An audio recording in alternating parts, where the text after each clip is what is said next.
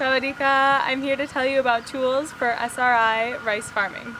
The first is a single rice seed seeder. Um, you can put the rice seeds in this compartment. It removes. Put the rice seeds in and it sifts them through.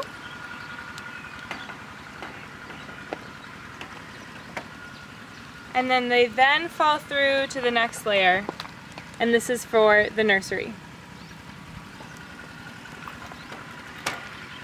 The next is the roller planting marker. It's for creating um, the lines where you'll plant the rice seeds. So they will go in these places. They'll mark in the soil where you should put the seeds. Um, this is the rotary weeder. It's used to remove um, weeds. This is Azolla. It's a biofertilizer and it also helps um, with weed problems in the paddies. And this is a water tube and you can use it to measure water levels in the soil in the rice paddy. Thank you.